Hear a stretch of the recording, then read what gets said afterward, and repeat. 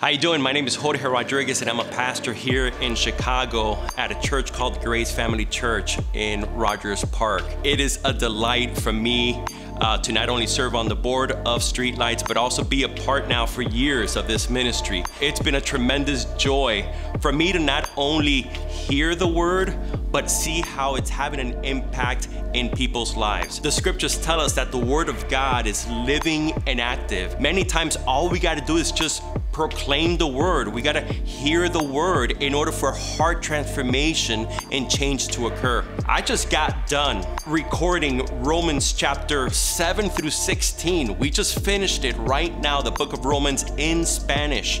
I'll tell you this it's ministered to my heart, it's also ministering to my family's heart. Our youngest son, when we take him to school, we put this on almost traditionally every morning because we know that we need it.